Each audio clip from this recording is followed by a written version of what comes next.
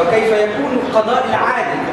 بأسلوب إدارة جلسات يعلم الجميع ويتسع صدره لأبعد مدى.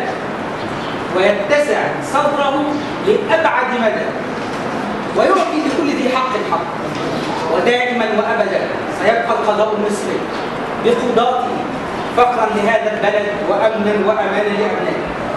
كما أننا استمعنا إلى مرافعة من الادعاء العام يمثل المجتمع الدفاع يؤكد دائما على أن النيابة العامة هي القسم الشريف في كل الدعوة لن أطيل ولن أزيد على ما قاله الأستاذ الدكتور عبد الرؤوف في مرافعة وجيزة سيادة الرئيس سنتناول شقين الوقائع من منظور المتهم ثم الدفوع القانوني موجب شيك بنكي لصالح الهيئة لإنتاج جدية التكنولوجيا وتمت إجراءات المعاينات والتأكد من الزراعة ثم توقفت الهيئة تماما عن الفصل في هذا الطرف مما دفع أيمن الجميل إلى إقامة 11 دعوة قضائية.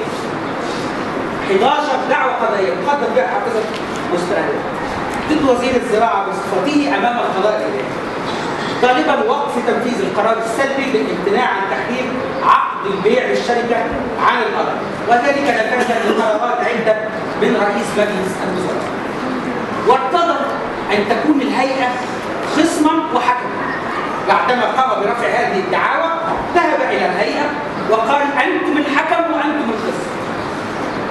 لكن الهيئة رفضت التعامل مع المتهم بحجة أن هناك قضايا وهذا الأمر يحول دون التعامل مع المتهم وأضافت النيابة العامة متحدثة بلسان المتهم الثالث لعل لما يطلبوه نهاية ألم يكتفوا بما أخذوا أليس للجشع نهاية؟ ثم قال أف لكم. ما رأيت إلا الاستنزاف والتعطيل ثم اختتم. لا رحموا ولا تركوا رحمة رب العباد تنزل على عبده. هذه الحقيقة.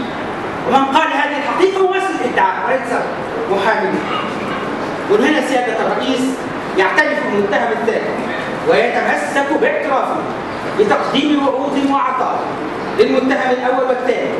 بواسطة المتهم الرابع. كان يدفعها من رزق أولاده قائلا حسبي الله ونعم الوكيل. هذه الاعترافات أتت بإرادة الحر اعترافات ليست وليدة إكراه أو تدليس.